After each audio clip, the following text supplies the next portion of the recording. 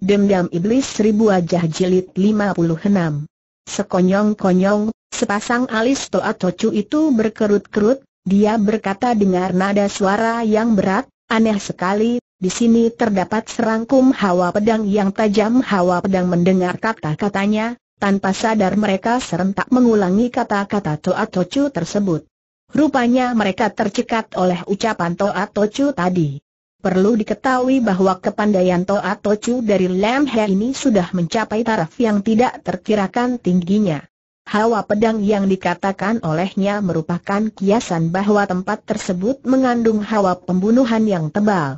Oleh karena itu, para hadirin yang ada di dalam pondok itu menjadi tergetar hatinya.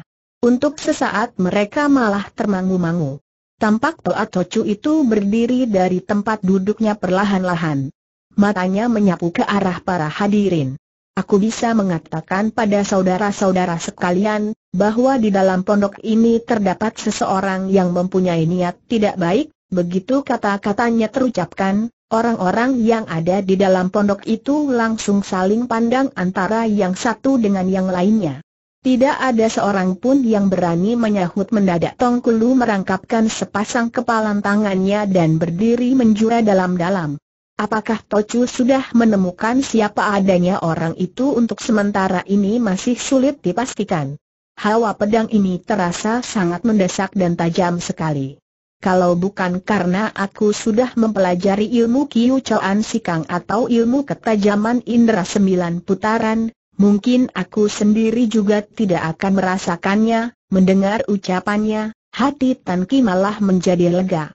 Di samping itu otaknya juga berputar mencari jalan untuk menghadapi musuh agar tugasnya dapat berhasil. Mendadak sebuah hilam muncul di benak kepalanya, dia teringat suatu cerita legenda yang pernah dibacanya. Diam-diam dia berpikir dalam hatinya, mengapa aku tidak meniru perbuatannya yang menggunakan kesempatan membunuh kaisar pikirannya tergerak, perlahan-lahan dia berdiri. Mendengar kata-kata Toa Tocu yang mengatakan hawa pedang yang tajam, aku jadi teringat suatu hal, sembari berkata, dari selipan ikat pinggangnya dia mencabut sebatang pedang, kemudian terdengar dia melanjutkan kata-katanya. Pedang ini aku dapatkan dari tubuh Bulim Beng Cu wilayah Tionggoan, Tanki. Karena perasaan suka, aku menyimpannya. Kemungkinan hawa pedang yang Toa Tocu maksudkan terpancar dari pedang pendek ini, Toa Tocu melirik ke arahnya sekilas. Kemudian terdengar dia mendengus dingin. Aku mengenali pedang tersebut sebagai hadiahku untuk Kiao Hun Tan Ki tersenyum simpul. Dia berjalan ke depan dua langkah. Sepasang tangannya menyandang pedang tersebut dan perlahan-lahan melangkah mendekati Toa Tocu. Tidak seorang pun yang tahu hatinya saat ini sudah merencanakan suatu kejahatan. Segulung angin topan sebentar lagi akan melanda. Tampak sinar mata orang-orang yang ada dalam pondok itu terpusat pada diri Tanki. Mereka tidak mengerti apa maksud perbuatan Tanki ini. Justru ketika hati mereka masih bertanya-tanya, kembali Tanki menghentikan langkah kakinya. Jaraknya dengan Toa Tocu itu hanya tinggal tiga langkah saja. Setelah tersenyum ramah, dia menggerakkan pedang itu ke depan, tampak segurat sinar berwarna hijau yang berkilauan, Pandangan Matt menjadi samar dan serangkum hawa dingin menyelimuti pondok tersebut. Sembari tertawa Tan Ki berkata, Matt, Toa Tocu tajam bagai kilat, apakah Toa Tocu dapat melihat kejanggalan yang ada pada pedang ini sembari berkata, dia menyodorkan pedang itu ke hadapan Toa Tocu, tetapi arahnya justru dada Sang Tocu tersebut siapa kiranya Toa Tocu itu. Melihat Care, Tan Ki menyodorkan pedangnya, sepasang alisnya langsung menjungkit ke atas. Care, Tan Ki menyodorkan pedangnya jauh berbeda dengan care yang digunakan orang biasa. Justru saat itu di hatinya sudah timbul perasaan curiga.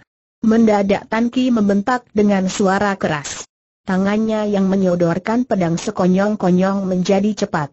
Cahaya berkelebat, dia langsung melancarkan sebuah serangan ke bagian urat darah yang mematikan di dada Toa Tocu.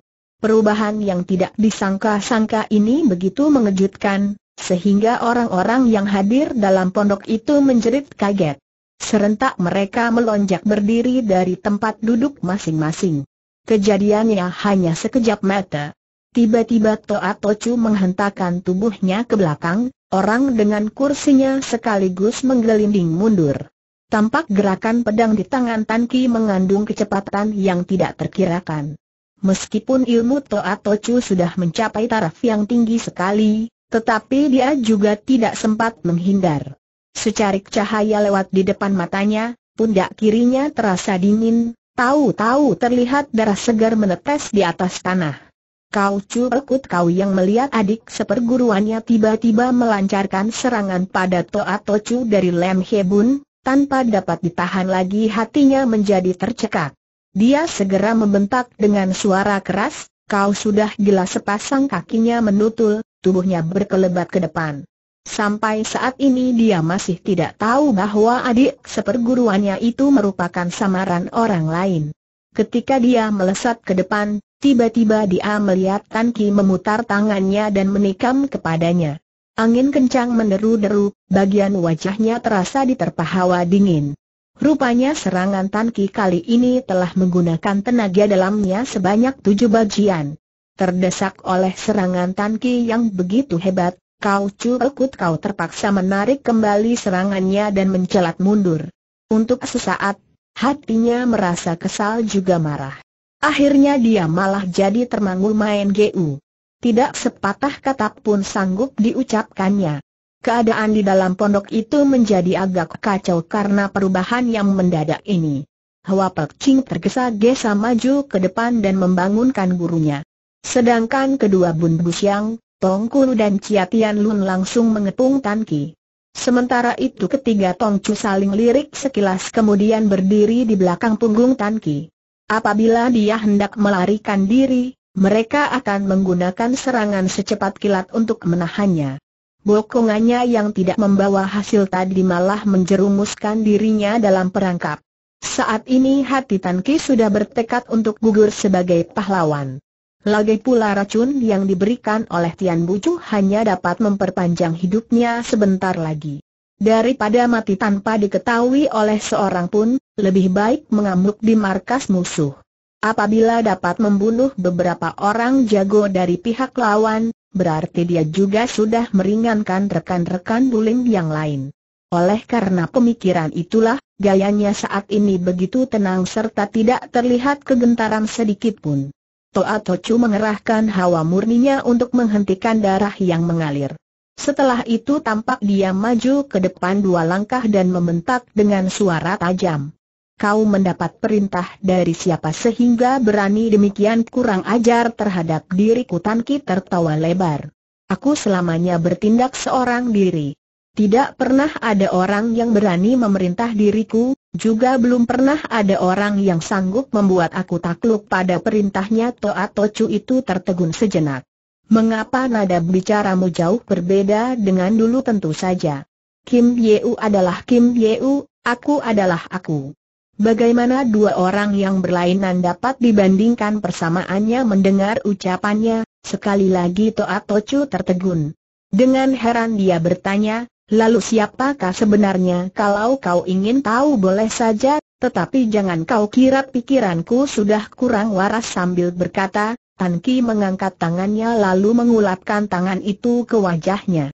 Puluhan pasang mata seperti terhipnotis, mata mereka membelalak lebar-lebar. Semuanya memperhatikan Tan Ki lekat-lekat. Seakan sebentar lagi akan terjadi suatu keajaiban. Perlahan-lahan, selembar wajah yang tampan dan gagah muncul dalam pandangan orang-orang yang ada dalam pondok itu. Otomatis hati mereka tergetar, Rasa terkejutnya kali ini tak perlu ditanyakan lagi. Terutama Chin Ying dan Chin Ie, mereka lebih heran daripada orang lainnya. Karena mimpi pun mereka tidak menyangka bahwa pada saat dan tempat seperti ini Tan Ki bisa muncul di hadapan mereka. Pikiran Chin Le lebih polos, baru saja pundaknya bergerak sedikit. Maksudnya ingin melesat ke depan, tahu-tahu Chin Ying telah menarik tangannya. Jangan gegabah.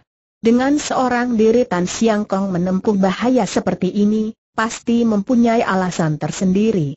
Lebih baik kita perhatikan dulu keadaannya baru mencari jalan. Kalau tidak, begitu kau keluar, mereka pasti akan mengetahui bahwa selama ini kita ada hubungan dengan orang-orang wilayah Tionggoan ketika mereka sedang berbicara itulah, tiba-tiba terdengar suara bentakan yang keras. Serentak mereka memalingkan kepalanya, tampak Tan Ki sudah mulai bergebrak dengan salah satu bundus yang, Tong Kulu kepandaian kedua orang itu hampir seimbang. Selisihnya tipis sekali. Begitu kekuatan mereka beradu, tubuh keduanya langsung terhuyung-huyung, kemudian tergetar mundur sejauh setengah langkah. Hati Tan Ki sudah bertekad untuk mengadu jiwa di markas musuh ini. Pokoknya dia ingin membunuh lawannya sebanyak mungkin. Oleh karena itu, tanpa mengatur pernafasannya lagi, dia langsung menerjang kembali. Dengan jurus kuda berlari di tengah pegunungan, dia langsung melancarkan sebuah serangan yang dahsyat. Miao Fei Xiong melihat anak muda ini langsung menerjang ke arah Tongkulu tanpa memperhatikan sekitarnya.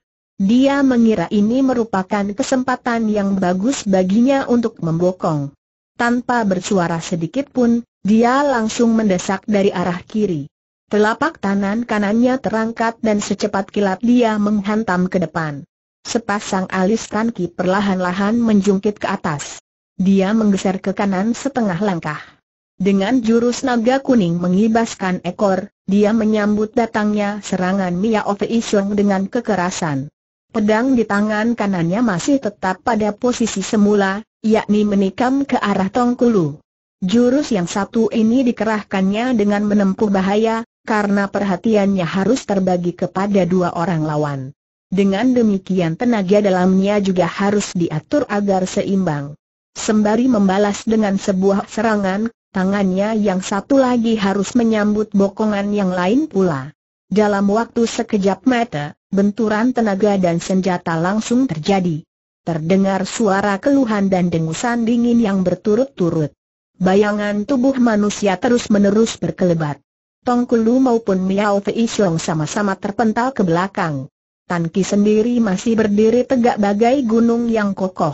Tubuhnya tidak bergeser sedikit pun, tetapi di sudut bibirnya terlihat darah mengalir.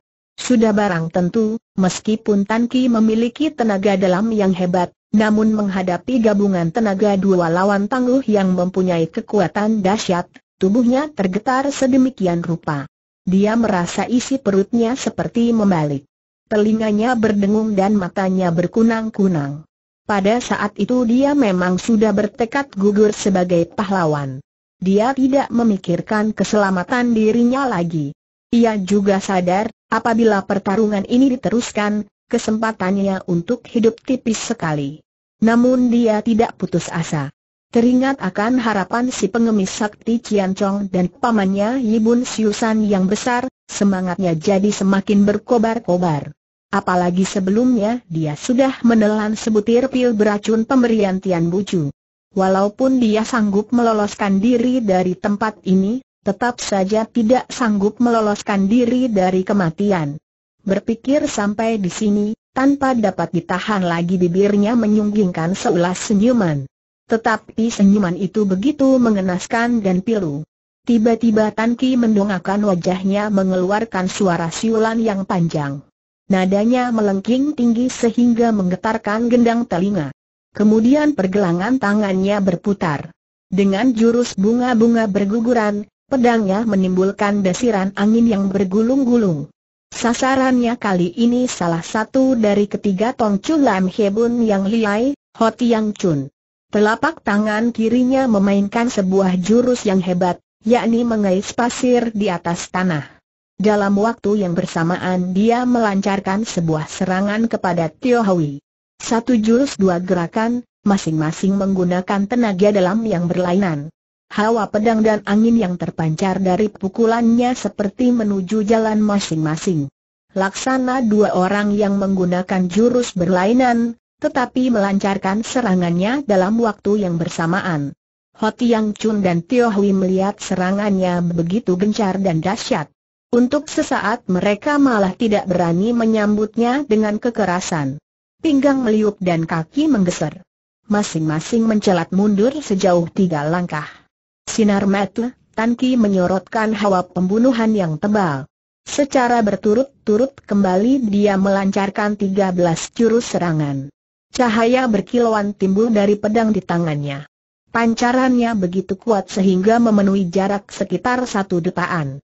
Tiga orang Tongcu, dua orang Bun Busyang dan Kacu Ekut Kau dalam waktu seketika menjadi kalang kabut karena serangan Tanki yang dahsyat. Mereka terdesak mundur sehingga keadaan di dalam pondok itu menjadi kacau balau. Tiba-tiba Tan Ki mengeluarkan suara bentakan yang keras. Kakinya bergerak mengejar Miao Fei Xiong dari belakang. Tampak pedang pendek di tangannya meluncur cepat menikam ke depan. Dalam sekejap mata, dia menarik kembali jurus serangan yang telah dilancarkannya. Jurus ini dikerahkan dengan kecepatan yang tidak terkirakan. Baru saja pedangnya bergerak ke depan, tahu-tahu sudah ditarik kembali. Begitu cepatnya sehingga orang-orang yang ada dalam ruangan itu tidak sempat melihat jelas bagaimana Care, tangannya melakukan gerakan. Justru ketika dia melancarkan pedangnya kemudian menarik kembali, dalam waktu yang bersamaan terdengar suara jeritan yang menyayat hati. Darah memercik ke mana-mana. Tubuh Mia Fei terhuyung-huyung ke belakang seperti orang mabuk, kemudian terhempas di atas tanah dengan nyawa melayang. Orang-orang di dalam pondok itu melihat gerakan tubuh dan tangan Tan Ki demikian hebat sehingga sulit dilukiskan dengan kata-kata. Hati mereka tercekat bukan kepalang. Wajah mereka menyiratkan perasaan ngeri yang tidak terkirakan. Toa Tocu dari Lam Hei sendiri juga melihat Ker, Tan Ki yang begitu cepat sehingga sanggup membunuh salah seorang jagonya dalam sekejap mata. Tetapi dia hanya mengeluarkan suara tawa yang dingin serta menyaksikan dari samping. Tampaknya dia menganggap Tan Ki seperti seekor ikan di dalam jala. Tentu saja dia tidak perlu turun tangan sendiri. Biar bagaimanapun sulit baginya untuk meloloskan diri dari tempat itu. Oleh karena itu, dia juga tidak peduli melihat salah seorang jagonya dapat terbunuh oleh Tan Ki dalam sekejapan mata. Sementara itu, Gerakan Tan Ki terlihat melemah. Tong Kulu segera menggunakan kesempatan itu untuk membalas menyerang. Biar bagaimana orang ini merupakan salah satu bun yang dari Lem Hebun. Ilmunya tinggi sekali. Begitu jurus serangannya dikerahkan, segera terasa ada serangkum angin kencang yang menimbulkan suara siulan panjang tubuh Tan Ki berkelebat, dia menghindarkan dirinya dari pukulan Tong Kulu. Belum sempat dia membalas menyerang, tanpa menimbulkan suara sedikit pun Ho Tiang Chun menerjang datang dari sebelah kiri. Pukulan dihantamkan ke depan sekaligus jari tangannya melancarkan sebuah totokan. Secara berturut-turut dia mengerahkan tiga jurus serangan. Tio Hui seakan mengimbangi pukulan yang dilancarkan oleh Ho Tiang Chun. Dia melancarkan dua buah pukulan dan sebuah tendangan. Menghadapi serangan yang gencar ini, Mau tidak mau Tan Ki mencelat mundur berkali-kali. Kesempatannya melancarkan serangan terlebih dahulu hilang, keadaan jadi berbalik. Dia merasa situasi di hadapannya saat ini bukan main gawatnya. Apalagi saat ini dia tidak mempunyai peluang lagi untuk membunuh Toa Tocu, diam-diam hatinya merasa panik. Ketika pikirannya sedang gelisah, tiba-tiba terdengar Tongkulu berteriak dengan lantang, Siapkan Tian Siliok Teo, enam bintang penggetar langit mendengar teriakannya, Tan Ki justru jadi tertegun. Rupanya setelah bergebrak dengan Tan Ki sebanyak beberapa jurus, Tong Kulu sadar tenaga dalam mereka hampir seimbang. Tetapi jurus serangannya justru kalah aneh dan keji. Apabila pertarungan ini diteruskan, meskipun mereka dapat menggabungkan tenaga beberapa orang untuk meringkus Tan Ki, tetapi paling tidak harus melewatkan lima ratusan jurus. Oleh karena itu, pikirannya segera tergerak. Dia berniat menggunakan barisan Lam Hebun yang terkenal untuk mengepung Tanki. Setelah itu mereka tinggal menggunakan obat bius atau senjata rahasia untuk merubuhkannya. Mendengar kata-katanya, Ciatian Lun beserta rekan-rekannya yang lain langsung duduk bersila di atas tanah. Hwa Pek juga mencelat, keluar dan di bagian pusat. Dia menggantikan kedudukan Miao Fei Xiong yang sudah mati terbunuh oleh Tan Ki. Barisan yang terdiri dari enam orang itu sudah dipersiapkan. Daya kerjanya langsung dilancarkan. Sebagai pembuka jalan, kau curkut kau yang pertama-tama menghantamkan sebuah pukulan ke depan. Indra penglihatan Tan Ki sangat tajam sekali. Otaknya juga cerdas. Setelah melihat sekilas, dia segera mengetahui bahwa keenam orang itu membentuk barisan dengan telapak tangan saling menempel. Seperti orang yang mengerahkan hawa murninya untuk menyembuhkan luka dalam. Tanpa dapat ditahan lagi hatinya segera tergerak. Dengan care saling menempelkan telapak tangan seperti itu, mereka dapat menggabungkan tenaga enam orang pada satu orang. Setiap serangan yang dilancarkan berarti merupakan kekuatan enam orang yang tentu saja dapat dibayangkan kehebatannya. Diam-diam hati Tan Ki tercekat. Di samping itu dia juga ingin membuktikan dugaannya sendiri. Oleh karena itu dia segera menghimpun hawa murninya dan mendorong telapak tangannya ke depan menyambut serangan kacu pekut kau. Begitu kedua telapak tangan saling beradu, Tan Ki langsung merasa jantungnya bagai dihantam oleh sebuah palu yang besar. Tubuhnya terpental ke atas satu kali, kakinya goyah dan sepasang pundaknya terhuyung-huyung wajah Tan Ki perlahan-lahan berubah. Diam-diam dia berpikir di dalam hati, sungguh barisan Tian Siliok TOU yang hebat sementara pikirannya masih tergerak, tiba-tiba Cian Tian Lun yang posisinya di tengah-tengah kembali melakukan penyerangan. Tenaga dalamnya bagai gunung yang rubuh, demikian dahsyatnya sehingga membuat hati Tan Kit tergetar. Anak muda itu tahu, apabila dia menyambut lagi serangan Ciatian Lun ini, pasti keadaannya tidak berbeda dengan sebelumnya. Berarti dia mengadu tenaga dalam dengan enam orang lawan sekaligus. Paling tidak dia akan terluka parah. Oleh karena itu, untuk sesaat dia tidak berani menyambut dengan kekerasan. Dia menggeser ke sebelah kiri satu langkah, pedang di tangannya digetarkan. Dengan sebuah jurus yang hebat, pedang di tangannya menimbulkan lingkaran cahaya dengan ukuran besar kecil. Serangannya ditujukan kepada salah satu bun yang dari Lem Hebun, yakni Tong Kulu. Menghadapi serangannya yang begitu dahsyat, Tong Kulu malah seperti menganggap remeh. Dia tetap bersila di tempatnya tanpa bergerak sedikit pun. Justru Ho Tiang Chun dan Hoa Pek Ching yang masing-masing menghantamkan sebuah pukulan menahan serangan pedang Tan Ki. Hawa amarah dalam dada Tan Ki jadi meluap. Jurus-jurus yang aneh serta keji dilancarkannya secara gencar. Saat itu juga, kilauan pedang memijar-mijar dan mendesak kepada enam orang tersebut. Tidak tahunya Tian Siliok Teo itu merupakan ilmu tingkat tertinggi dalam perguruan Lam Hai Bun. Ilmu itu merupakan ciptaan Tocu sebelumnya, Gintong yang menghabiskan waktu bertahun-tahun untuk merampungkannya. Orang yang diserang justru tidak mengelakkan diri ataupun menangkis, tetapi telapak tangannya ditempelkan pada telapak tangan rekan di sebelahnya dan rekannya itulah yang melancarkan serangan balasan. Hal ini berarti orang yang pertama itu menerima saluran tenaga dalam dari rekan lainnya sehingga kekuatannya menjadi dahsyat. Meskipun ilmu pedang Tan Ki aneh dan dapat menimbulkan hawa pedang yang tajam, tetapi setelah melancarkan serangan beberapa kali berturut-turut, tetap saja dia tidak sanggup melukai satu orang pun dari pihak lawan. Diam-diam hatinya menjadi panik, keringat dinginnya terus mengucur dengan deras. Dia merasa setiap kali melancarkan sebuah serangan, musuh tidak menghindar ataupun balas menyerang, tetapi malah mempertahankan diri.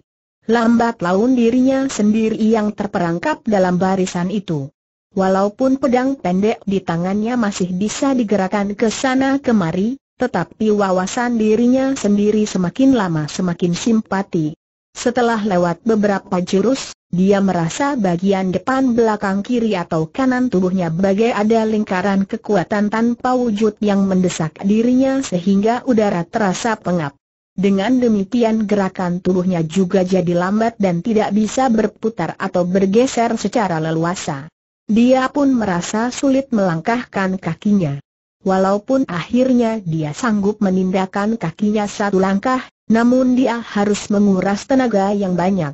Hatinya sadar bahwa apabila pertarungan ini diteruskan, dirinya tentu tidak luput dari bencana.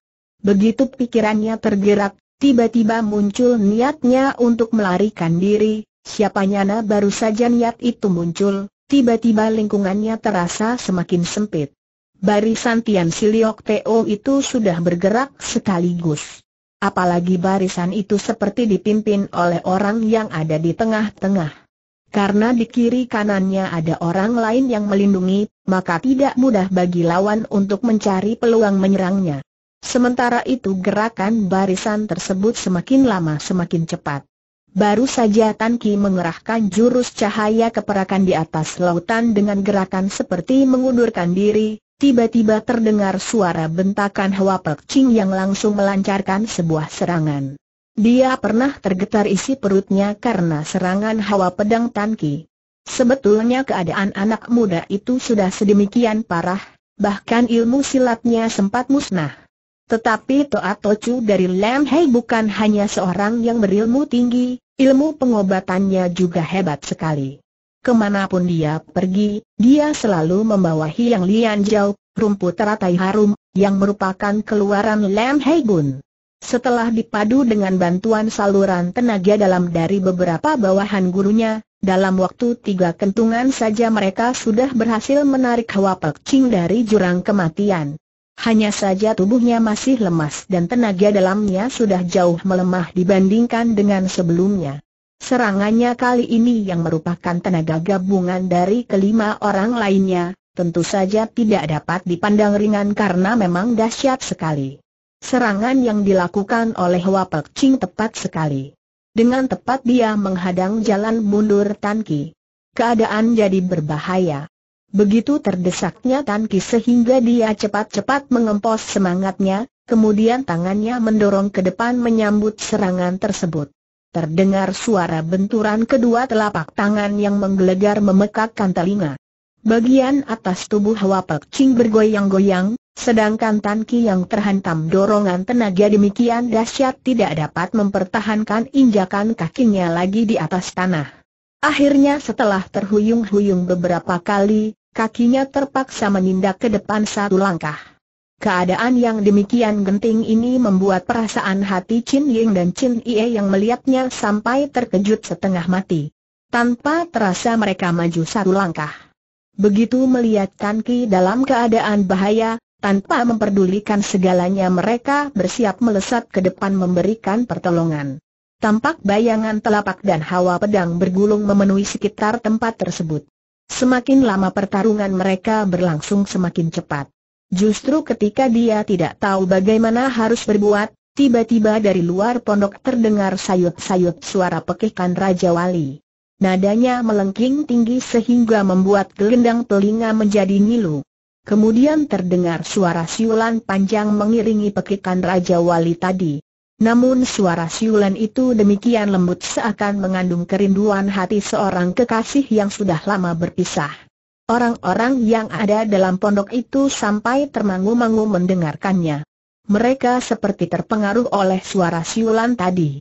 Hawa pembunuhan yang menyelimuti pondok tersebut serasa menyurut cukup banyak.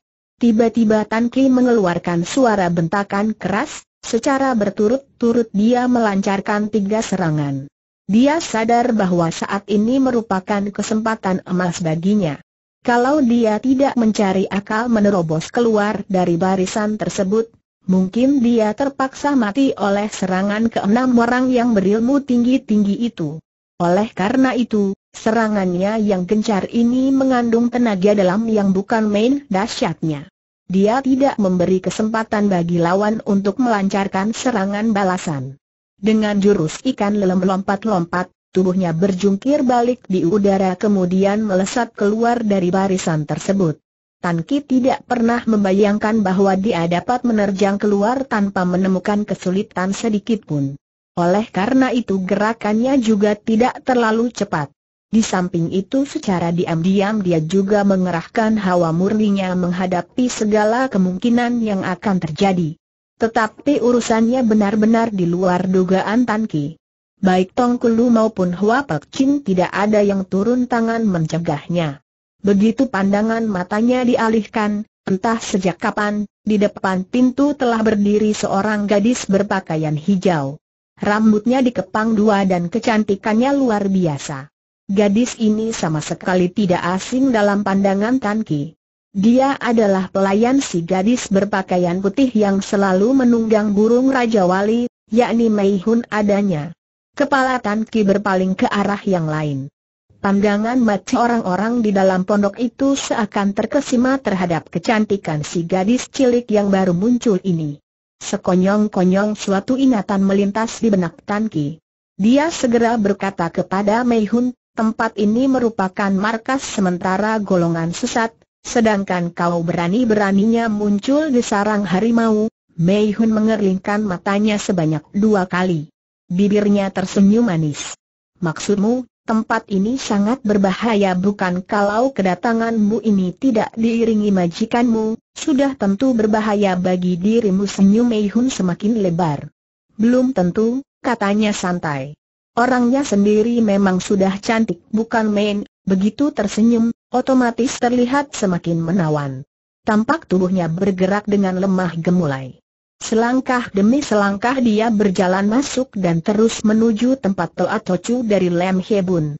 Kemunculannya yang tidak tersangka-sangka sudah mengejutkan orang-orang yang ada di dalam pondok tersebut. Ternyata dia malah berani menghampiri Toa Tocu. Besarnya nyali gadis itu benar-benar sulit disamakan oleh orang lain. Mereka merasa gerak-gerik gadis ini begitu misterius, maksud kedatangannya membingungkan. Tanpa dapat ditahan lagi, orang-orang yang ada di, di dalam pondok itu merasa tidak paham sehingga saling menukar pandangan. Hawa Pek yang pernah kena batunya, terlebih-lebih merasa gelisah melihat kemunculannya itu. Sepasang alis Tan Ki menjungkit ke atas. Pedang di tangannya digenggam erat-erat. Pandangan mata, Toa Tocu menyorotkan sinar yang berkilauan. Tiba-tiba wajahnya menjadi kelam. Dia membentak dengan suara keras, untuk apa kau datang kemari Mei Hun mengembangkan seulas senyuman yang sangat manis, tentu saja untuk mengambil batok kepalamu mendengar perkataannya, Toa Tocu segera mendongakkan kepalanya dan tertawa terbahak-bahak. Sungguh seorang budak cilik yang bermulut tajam. Kau kira siapa aku ini aku tidak peduli siapa dirimu. Tetapi karena aku sudah menaksir batok kepalamu, meskipun tidak sudi menyerahkannya kau juga tidak bisa melarangku, Toa Tocu mengeluarkan suara tawa yang dingin. Tampangnya seperti orang yang marah tetapi juga geli mendengar ucapan Mei Hun tadi, Sungguh tidak enak untuk dipandang. Tan Ki melihat di balik senyumnya yang dingin terselip kegusaran. Segurat hawa kehijauan muncul di wajahnya. Demikian samarnya sehingga tidak dapat terlihat oleh orang yang pandangan matanya kurang tajam. Melihat tampangnya yang aneh dan tidak enak dilihat, wajah Mei Hun langsung berubah. Dia mengeluarkan suara tawa yang dingin. Rupanya kau sudah mempelajari ilmu hawa sesat dari mayat yang seram tampaknya kau juga bukan orang tanpa asal-usul. Karena sekali lihat saja kau sudah dapat menebak dengan tepat rahasiaku. Mengingat usiamu yang demikian muda, yang mestinya belum mengerti apa-apa, aku juga malas berdebat panjang lebar denganmu. Cepat katakan asal perguruanmu dan kau boleh segera tinggalkan tempat ini kata Toa Tocu. Biarpun kau mengusir aku, belum tentu aku bersedia meninggalkan tempat ini, sepasang mata, Toa Tocu tiba-tiba menyorotkan sinar yang berkilauan. Seperti dua buah lentera berwarna hijau yang menyeramkan sehingga membuat hati orang tergetar. Ditambah lagi dengan hawa hijau yang menyelimuti wajahnya, semakin membuat hati orang menjadi gelisah dan tercekat. Terdengar dia mengeluarkan suara tawa yang seram.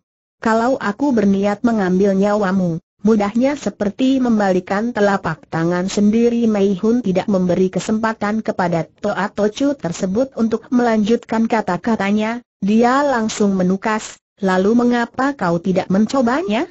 Lihat apakah membuktikannya mudah atau bicaranya saja yang mudah Toa Tocu adalah seorang pimpinan, di wilayah Lam Hai Bun yang paling disegani.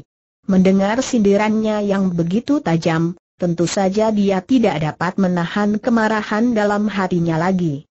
Oleh karena itu, dia langsung mendongakkan wajahnya dan mengeluarkan suara tawa yang mirip dengan pekikan burung hantu di tengah malam. Tan Ki merasa suara tawa Sang Tocu tersebut seakan membawa hawa dingin yang menyusup ke dalam dada. Bukan saja tidak enak didengar, malah membuat tubuh orang menggigil seperti tiba-tiba saja turun salju yang deras sehingga menutupi seluruh pondok tersebut. Bulu kuduknya merinding seketika. Justru di saat Tan Ki merasa gelisah, tiba-tiba suara tawa Sang Tocu sirap. Dia langsung maju ke depan sejauh dua langkah. Aku akan mengalah kepadamu sebanyak tiga jurus. Ucapan ini apabila tercetus dari mulut orang lain, tentu orang-orang yang mendengarnya akan merasa bahwa Tocu ini sombongnya bukan main. Tetapi Tocu ini bukan sembarang Tocu. Ilmunya sudah mencapai taraf yang demikian tinggi sehingga sulit diukur lagi. Mereka merasa kata-kata itu ajar sekali terdengar dari mulutnya, tidak seorang pun yang merasa dia tidak pantas berkata seperti itu. Tampaknya Mei Hun seperti sengaja mengulur waktu. Ternyata dia tidak langsung melancarkan serangan.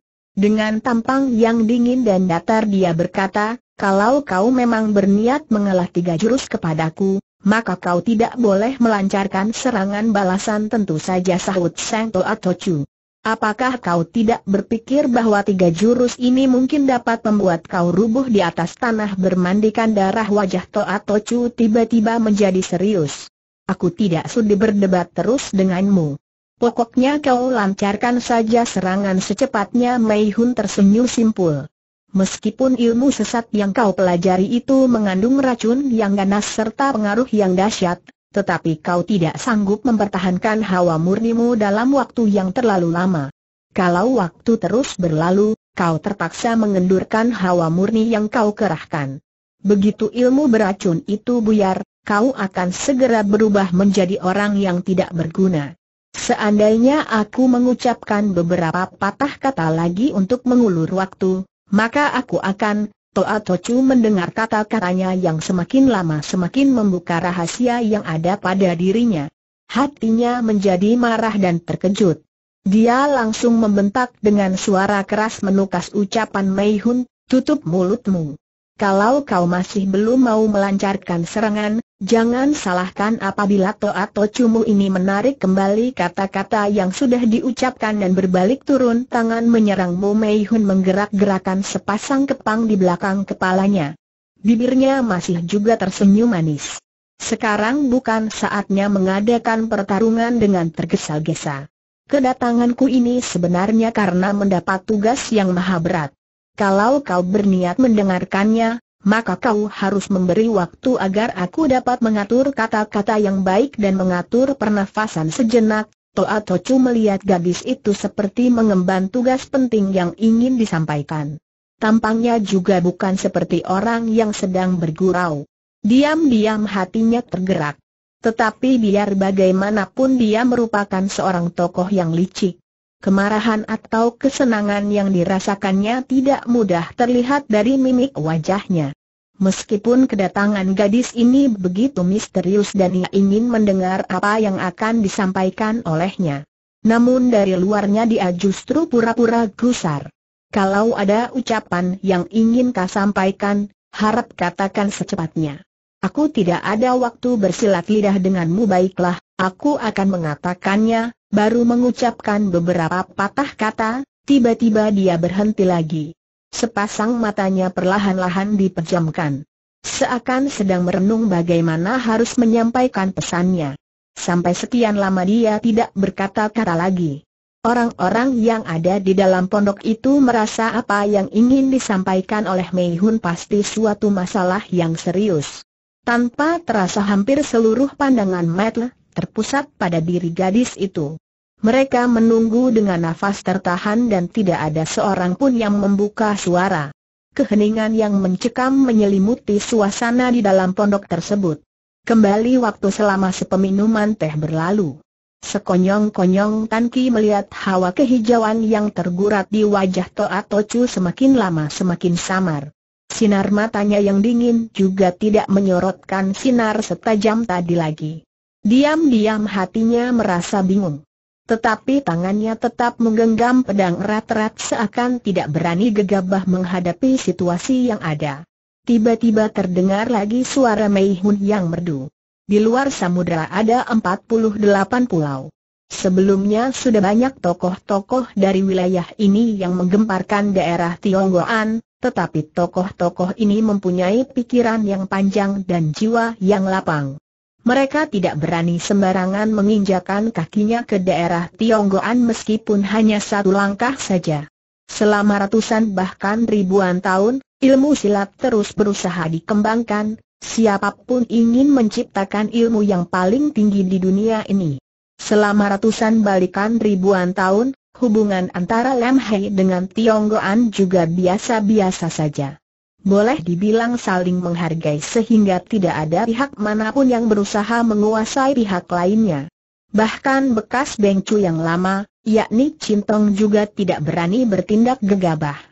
Meskipun beliau sering menginjakan kakinya ke wilayah Tionggoan dan bertukar pikiran tentang ilmu silat dengan tokoh-tokoh sakti dari wilayah Tionggoan kami.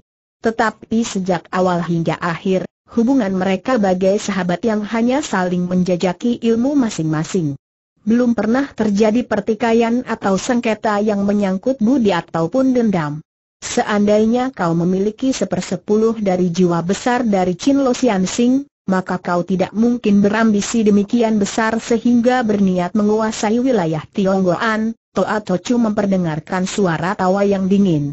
Aku mempunyai kelebihan dibandingkan dengan manusia biasa. Ambisiku memang ingin menyatukan seluruh bulim agar tunduk di bawah sebuah bendera yang sama, dengan demikian tidak akan terjadi lagi perebutan kekuasaan antara satu wilayah dengan lainnya. Mengapa hal ini tidak boleh dilakukan? Apakah kau benar-benar berniat membubarkan setiap partai yang ada dan membuat mereka takluk di bawah bendera mutanya Mei Hun?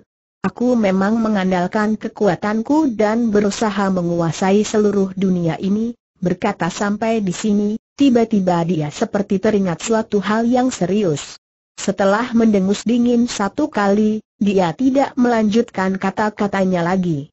Rupanya ketika keduanya terlibat dalam pembicaraan itulah, hawa hijau yang tersirat di wajahnya lambat laun menjadi sirna. Kemunculan Mei Hun yang secara tidak terduga-duga di markas pihak Lam He ini, memang menerima tugas dari seseorang.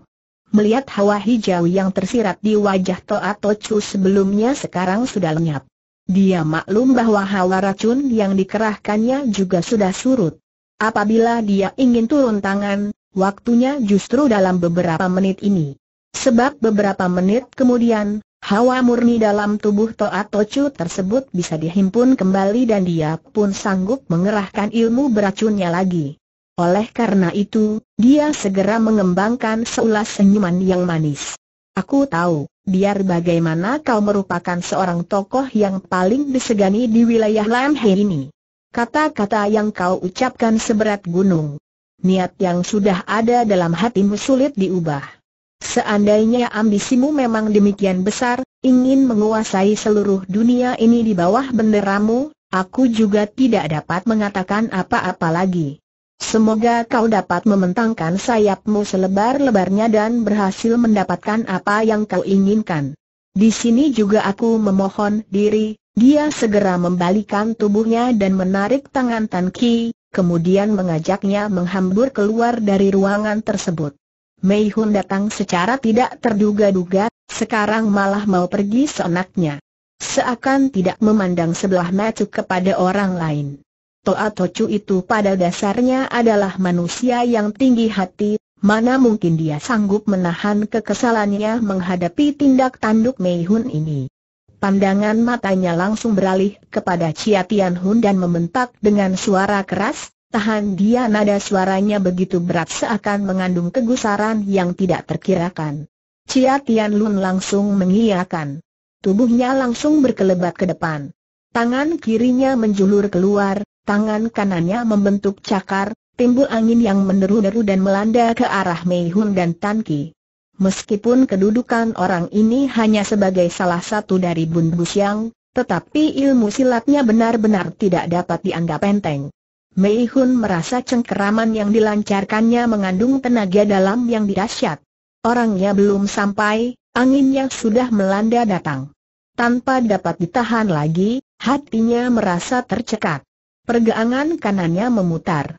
Dengan sebuah jurus yang hebat, dia mengibas ke depan. Siapa sangka Ciatian Lun memang mengharapkan dia melakukan gerakan tersebut. Tiba-tiba lengannya membalik dan tenaga yang terpancar pada cengkeramannya langsung lenyap. Dari lambat gerakannya menjadi cepat. Begitu tangannya bergerak sekali lagi, tahu-tahu pergelangan tangan Mei Hun sudah tercekal olehnya ketika kibasan tangannya menemui kekosongan. Mei Hun merasa ada yang tidak beres. Niatnya ingin mengibas sekali lagi, tetapi waktunya sudah tidak keburu. Tiba-tiba dia merasa pergelangan tangannya seperti kesemutan dan bagai dijepit oleh sepasang capitan besi yang kuat. Seluruh tenaga dalamnya langsung lenyap seketika. Namun ilmu silat Mei Hun diajarkan langsung oleh si gadis berpakaian putih yang sakti.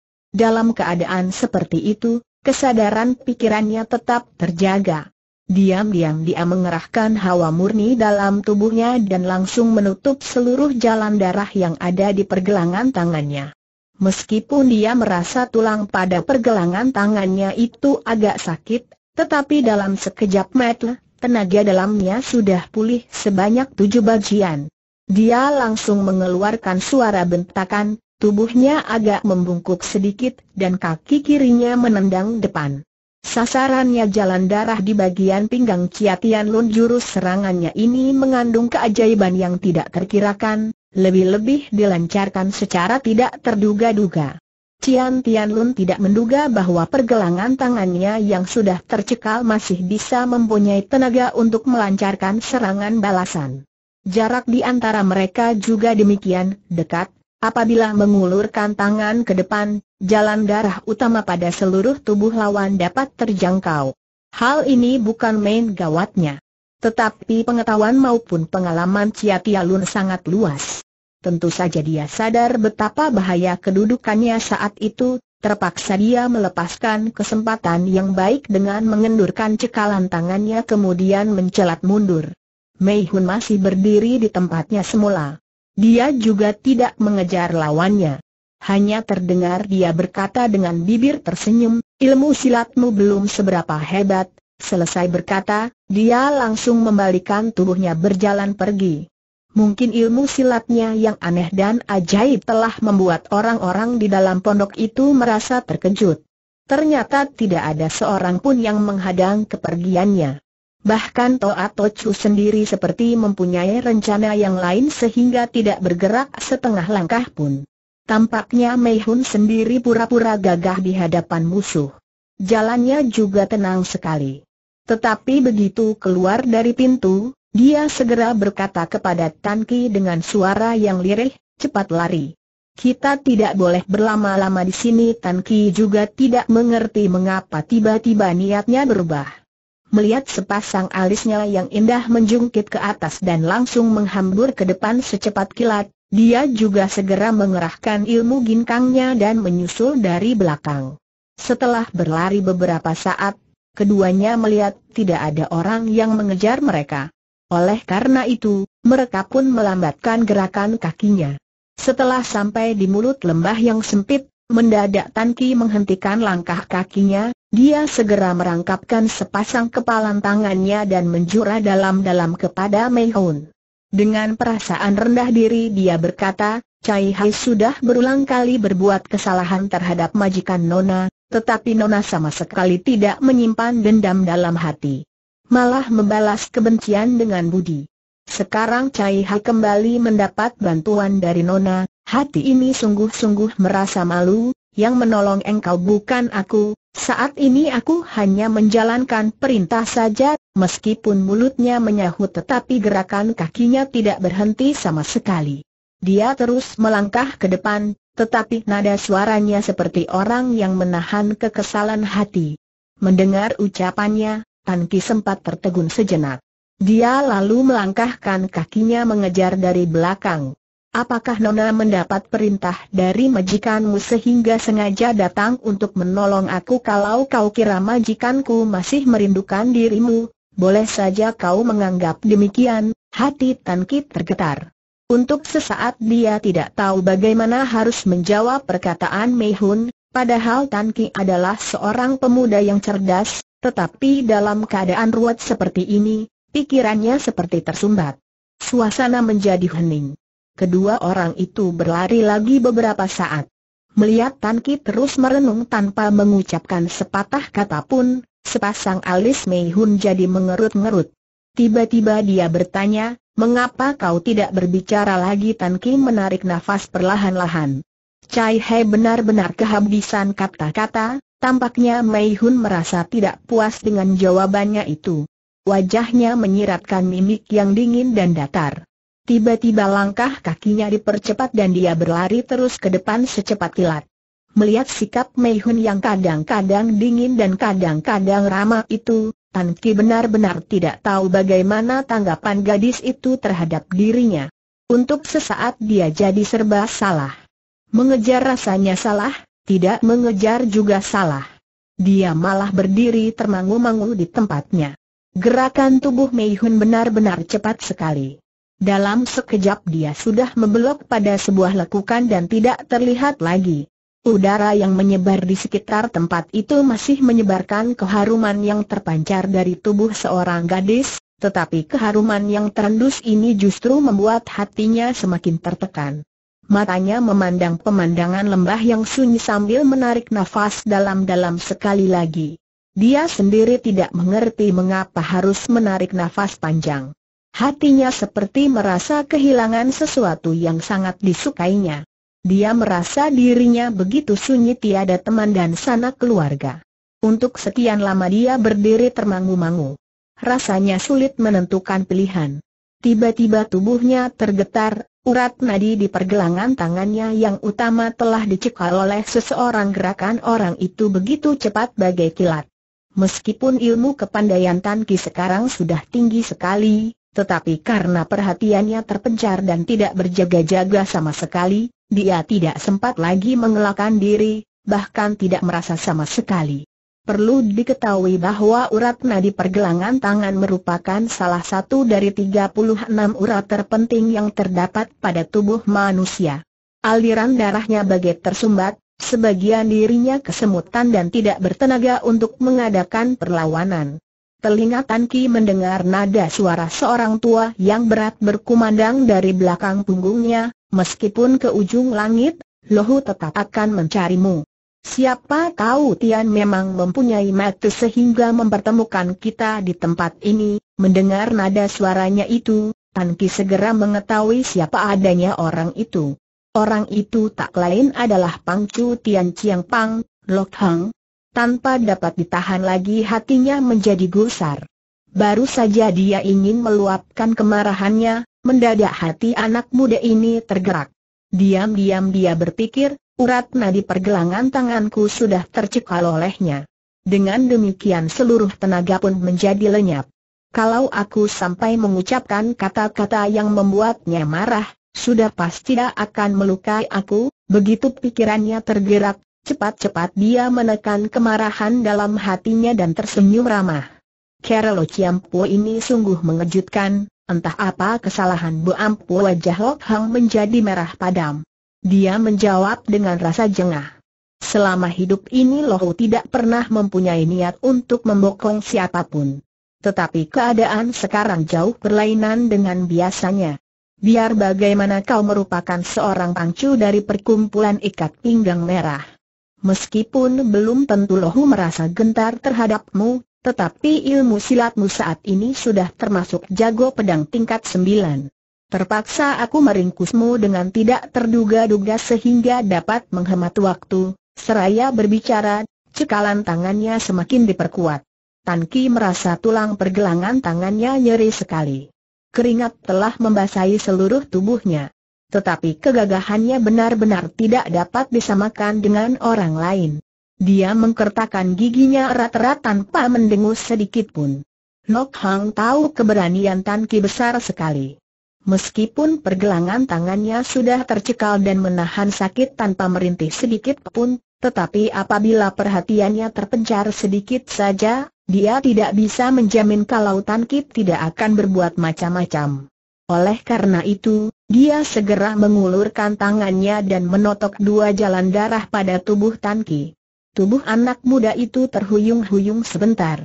Dia langsung membentak dengan nada marah, entah apa maksud Lo Chiam Puan mendesak orang sedemikian rupa walaupun hiatu alias jalan darahnya telah tertotok sehingga tenaga dalamnya lenyap sama sekali, tetapi yang ditotok oleh Lok Hang bukan urat bisu, sehingga mulutnya masih dapat berbicara sebagaimana biasa. Loh Hang memperdengarkan suara tawa yang dingin sekali, nyawa cucu kesayanganku sedang diambang maut. Rasanya tidak mungkin dapat diselamatkan lagi. Kalau dia sudah mati, apa artinya hidup lohu di dunia ini? Tetapi sebelum Ingji menghembuskan nafasnya yang terakhir, aku akan mencari seseorang untuk menemaninya, kalau ditelik dari keadaan sekarang, Tampaknya orang yang kau maksudkan itu diriku, bukan sekali lagi Lok Hang tertawa dingin. Bencana ini, kalau ingin dicari dalangnya, terpaksa Lohu menunjuk dirimu sepasang alis Ki langsung menjungkit ke atas. Orang yang mencari gara-gara engkau sendiri, yang membuat cucumu terluka parah juga dirimu sendiri. Mengapa Lo Ciampu menuduh yang bukan-bukan dan menyalahkan diriku dalam hal ini terhadap sindiran Tan Ki yang tajam? Untuk sesaat Lo Hang seperti kehilangan kata-kata untuk memberikan jawaban. Sempat dia termangu-mangu cukup lama. Kemudian perasaan malu dalam hatinya berubah jadi gusar. Tangannya bergerak ke kiri dan kanan. Secara berturut-turut dia menempeleng sepasang pipit Tan Ki. Kalau kau masih berani mengeluarkan kata-kata yang membuat aku marah, jangan salahkan apabila aku menurunkan tangan keji. Sebelum bertemu dengan cucu perempuanku, aku akan menyiksa dirimu dulu secara perlahan-lahan, seraya berkata, lengan kirinya menjulur ke depan. Tahu-tahu tubuh Tanki sudah berada dalam gendongannya. Seperti mengangkat seekor anak ayam, dia langsung mengerahkan ilmu gintangnya. Dalam dua kali loncatan saja, dia sudah mencapai jarak sejauh 3-4 depa. Justru ketika belum lama kedua orang itu pergi dari tempat itu, di mulut lembah tiba-tiba melesat keluar dua sosok bayangan. Pakaiannya berwarna hijau dan satunya lagi merah. Mereka mengedarkan pandangannya ke sekitar. Kedua orang itu adalah gadis-gadis pelayan yang melayani si gadis berpakaian putih yang sakti, yakni Mei Hun dan Chiu Hiang. Tampang Mei Hun menyeratkan perasaan hatinya yang panik. Matanya celingak-celinguk ke sana kemari. Chiu Hiang juga mengedarkan pandangan matanya. Tiba-tiba dia menghentikan langkah kakinya. Di sini juga tidak ada. Ke mana dia sebetulnya Mei Hun merasa sedih dan gugup. Bagaimana aku bisa tahu? Tadi aku merasa jengkel sehingga menyindirnya dua patah kata. Aku kira biar bagaimana dia akan mengejar aku dan pergi menemui Cujen bersama-sama. Tidak taunya orang ini benar-benar tinggi hati dan angkuh. Ternyata dia pergi secara diam-diam. Kalau Cujin sampai tahu urusan ini dan menyelidiki sebab musababnya, aku benar-benar tidak tahu apa yang harus kukatakan, sambil berkata, secara berturut-turut dia menghentakkan kakinya di atas tanah dua kali. Dia merasa panik juga kesal bukan main, urusan toh sudah jadi begini. Terpaksa kita mencari jalan. Kalau sampai buntu juga, sebaiknya berterus terang saja, sahut Chiu Hiang. Mei Hun mengiyakan dengan lirih. Untuk sesaat dia tidak mengatakan apa-apa. Dia menundukkan kepalanya merenung sesaat. Tiba-tiba dia membungkukkan tubuhnya dan menempelkan telinganya di atas tanah. Dia segera mengerahkan ilmu Teting Sut, ilmu mendengarkan tanah. Ilmu ini merupakan ilmu pendengaran kelas tinggi. Orang yang menguasainya sanggup mendengarkan gerak-gerik di sekitar dari getaran di atas tanah. Orang yang sudah berpengalaman dapat mengetahui gerakan musuh dalam jarak 10 li. Sejak kecil Mei Hun tinggal di pegunungan Mingsan dia sering menggunakan ilmu ini untuk mengincar binatang-binatang liar. Sekarang dia mengerahkan ilmu yang sama dan mendengarkan untuk beberapa saat. Ternyata dia menemukan suara langkah pada jarak tiga li di sebelah tenggara. Ciu Hiang menunggu sejenak. Dia melihat wajah Mei Hun berseri-seri.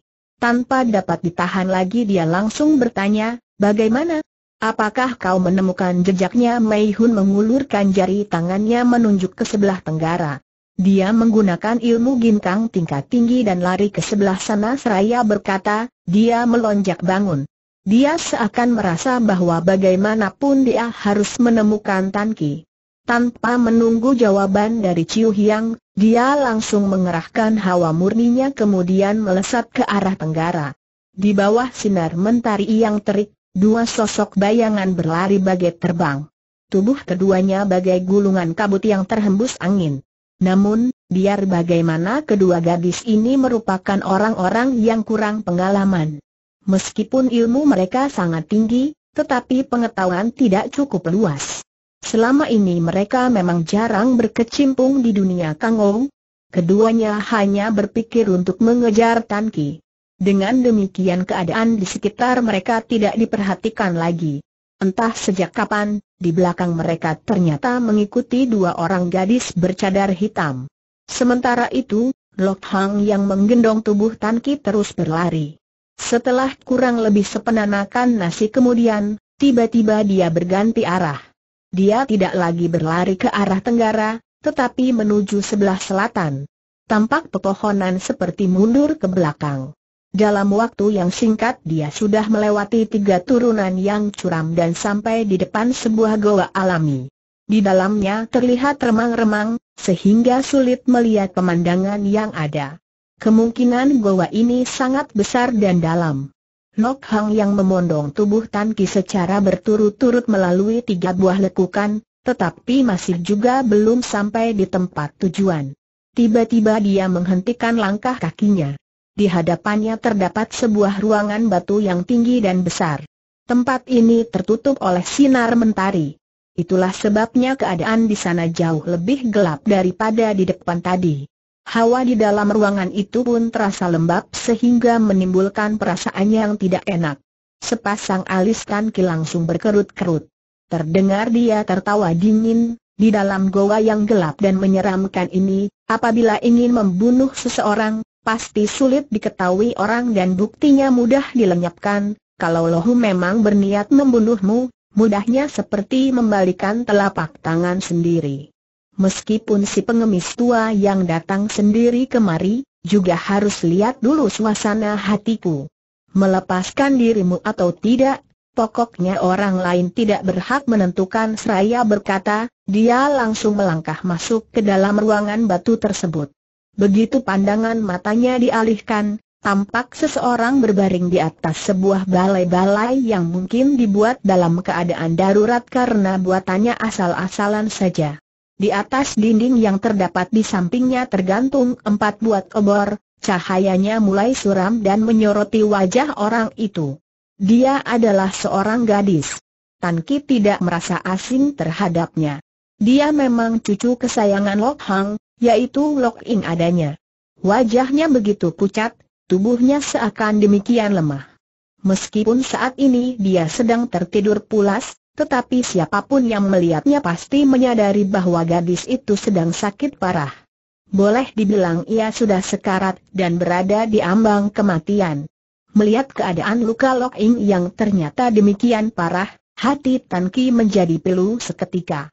Gadis yang selama ini malang melintang di Saipak dan tidak ada yang berani mencari perkara dengannya ini sudah seperti lampu yang hampir kehabisan minyak, sekarat menunggu datangnya malaikat maut.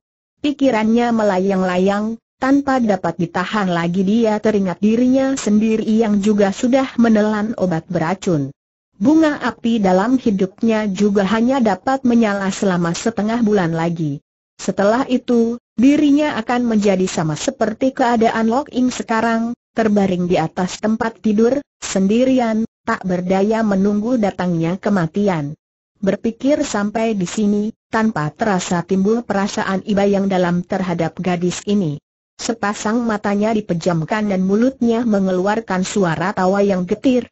Tiba-tiba telapak kakinya terasa menyentuh sesuatu yang keras. Ternyata dia sudah diturunkan oleh Lok Hang di atas tanah. Kemungkinan orang tua itu takut menimbulkan suara yang keras sehingga cucu kesayangannya akan tersentak bangun. Oleh karena itu, Ketika menurunkan Tan Ki di atas tanah, dia melakukannya dengan hati-hati sekali. Menghadapi tindakannya yang menyatakan sampai di mana kasih sayang terhadap Lok Ing, Tan Ki sempat tertegun juga. Diam-diam dia berpikir dalam hatinya, orang tua ini sangat mementingkan kehidupan cucunya.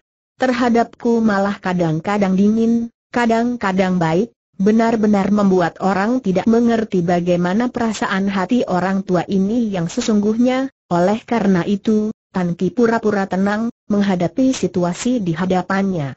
Entah apa maksud Lo Ciampu mengajak aku datang ke sini kau toh mempunyai mata, mengapa tidak kau lihat saja sendiri lihat apa tanya Tan Ki pura-pura. Kalau Ingciku sampai mati, aku akan menyuruh engkau menemaninya Tan Ki tertawa datar. Begitu juga ada baiknya. Toh, aku sendiri tidak bisa hidup lebih dari setengah bulan lagi. Tetapi bagaimana kalau Lok Nima mempunyai peruntungan yang bagus sehingga tidak sampai menemui ajalnya terhadap pertanyaan ini? Lok Hang malah merasa di luar dugaan sehingga dia menundukkan kepalanya merenung beberapa saat. Tentu saja Lohu akan menarik kembali kata-kata tadi dan menggantikannya dengan membantu kau melaksanakan tugas sampai berhasil serta membantumu menjadi orang yang terkenal, Tan Ki menggeleng-gelengkan kepalanya sambil tertawa datar. Tidak ada gunanya. Hidup Cai Hai tinggal 14 hari lagi. Walaupun Lo Chiampu berniat membantu aku, kemungkinan tidak akan, belum lagi kata-katanya selesai diucapkan, tiba-tiba terdengar suara gesekan selimut, Lok Ing mengeluarkan suara rintihan perlahan dan mendadak bangun dari tidurnya. Ketika berhasil melihat wajah Tan Ki dengan jelas, Lok Ing seperti orang yang terkena pukulan batin, seluruh tubuhnya bergetar. Matanya yang sayu membelalak lebar-lebar. Begitu terkejutnya sehingga tidak sanggup mengucapkan sepatah kata pun. Wajah Lok Hang berubah menjadi lembut. Dia berkata dengan suara perlahan, Inci, aku telah mengajaknya kemari menemuimu. Terdengar suara deheman lirih dari mulut Lok Ing lambat-lambat dia memejamkan matanya. Tetapi dalam sekejap saja, sudut matanya yang menimbulkan perasaan iba itu telah mengalir butiran air mata yang deras. Tampangnya sungguh mengenaskan, seakan di dalam hatinya terdapat penderitaan yang tidak terkirakan. Dengari suara lirih Hok Hang memanggil Lo Ing sebanyak dua kali. Nada suaranya begitu sendu. Kata-katanya tidak sanggup diteruskan lagi seperti ada sesuatu yang tercekat di tenggorokannya. Pang Cuti Chiang Pang yang disegani di dunia Kang ini ternyata belum dapat melepaskan dirinya dari lilitan kasih sayang dengan darah dagingnya sendiri, meskipun usianya sudah tua sekali. Wajahnya menunjukkan kepiluan hatinya yang tidak terkirakan. Tiba-tiba terdengar suara Lok Ing yang lirih, Ya ya, aku tidak ingin melihat orang yang ingin kutemui itu dalam keadaan teringkus seperti ini. Bukalah jalan darahnya, mendengar kata-katanya, untuk sesaat Lok Hang merasa bimbang setengah mati. Matanya menatap Tan Ki kemudian beralih kembali kepada cucu perempuannya. Dia sadar ilmu silat Tan Ki saat ini tidak dapat disamakan dengan tempo dulu lagi. Apabila totokannya dilepaskan, belum tentu dia sanggup meringkusnya lagi dalam 500 jurus. Dia menundukkan kepalanya merenung sekian lama. Akhirnya dia mengkertakan giginya erat-erat. Dibukanya dua urat nadi Tanki yang tertotok, tetapi orangnya sendiri langsung melesat ke depan dan menghadang di depan balai-balai. Apabila Tanki berniat turun tangan kepadanya, tentu tidak sampai terjadi sesuatu yang membahayakan keadaan Lok Ing seluruh tubuh Tanki tergetar. Dia langsung merasa darah dalam tubuhnya mengalir dengan lancar kembali. Rasa kesemutan juga hilang seketika. Dia segera meliukan pinggangnya ke kiri dan kanan untuk mengurangi rasa pegal karena tertotok sekian lama. Terdengar kembali Lok Ing berkata, Ya ya, keluarlah kau sebentar, entah kekuatan apa yang membuat Lok Hang tidak sanggup membantah. Setelah menganggukkan kepalanya, ternyata dia benar-benar berjalan keluar dari goa tersebut. Melihat keadaan itu, Tan Ki malah jadi termangu-mangu. Diam-diam hatinya berpikir, entah permainan apa yang sedang berlangsung di antara kedua kakek dan cucu ini tiba-tiba telinganya kembali menangkap suara Lok Ing yang lemah, apa yang sedang kau pikirkan? Pikiran Tan Ki menjadi jernih seketika mendengar pertanyaannya. Tidak ada, sahutnya lirih. Lok In tertawa getir. Aku tahu takmu sangat angkuh dan tinggi hati. Pasti karena kedatanganmu kemari dipaksa oleh kakekku sehingga perasaanmu jadi kurang senang bukan? Aku sendiri juga tidak tahu apa sebabnya. Sebelum kematian datang menjemputku, Rasanya ingin sekali aku melihatmu sekali lagi. Meskipun kita tidak dapat duduk bersama dan berbincang-bincang sebagaimana biasanya, paling tidak kita bisa saling pandang. Tidak taunya Yaya menganggap serius ucapan yang dicelotahkan oleh orang yang sudah sekarat ini. Rupanya dia benar-benar meninggalkan goa ini dan mencarimu ke mana-mana. Kalau hatimu merasa tidak senang, silahkan umbar kemarahanmu pada diriku, Berkata sampai di sini, hatinya terasa pedih sekali. Tetapi dia segera memalingkan wajahnya ke tempat lain dan tidak ingin Tan Ki melihat air matanya yang mengalir dengan deras. Obor yang mulai meredup di dinding goa itu memancarkan sinarnya sehingga terlihat rambutnya yang tergerai dan berwarna hitam pekat. Tampak sepasang pundaknya bergerak-gerak karena menahan isak tangis. Hal ini membuat suasana di dalam ruangan batu itu semakin pengap dan sumpek sehingga Tan Ki hampir tidak dapat menahannya. Tetapi di balik semua ini juga terselip kepiluan yang mengenaskan hati. Keadaan ini menimbulkan perasaan iba di hati Tan Ki, tanpa sadar dia duduk di atas balai-balai dan perlahan-lahan digenggamnya tangan Lok In dia merasa tangan gadis itu demikian lemah dan kurus. Perlahan-lahan dia menarik nafas panjang. Baik-baiklah kau menjaga kesehatanmu, aku akan pergi mencari obat, Lok Ing menggeleng-gelengkan kepalanya. Luka ini sudah sedemikian parah sehingga menyusup ke jantung. Meskipun ada obat yang bagaimanapun mujarabnya, jiwaku ini sulit tertolong lagi, tiba-tiba dia memalingkan wajahnya. Matanya yang sudah kehilangan cahaya berkilauan mengejap-ngejap dan memandang wajah Tan Ki lekat-lekat. Bibirnya tersenyum. Apakah kau benar-benar ingin mencarikan obat buatku atau hanya asal mengatakannya saja karena iba melihat keadaanku ini apa pun yang kukatakan, keluar dari hati yang tulus, sahut Tan Ki. Perlahan-lahan Lok Ing memejamkan matanya kembali. Kalau begitu, aku dapat mati dengan tenang. Tidak ada yang kupikirkan lagi, ketika mengucapkan kata-kata itu, hatinya benar-benar merasa gembira dan nyaman. Bibirnya menyunggingkan seulas senyuman yang tipis. Meskipun Tan Ki adalah seorang pemuda yang berotak cerdas, tetapi dia tidak mengerti bagaimana perasaan Lok In saat ini. Dia juga tidak tahu apa yang harus dikatakannya, sehingga akhirnya dia memilih untuk membisu.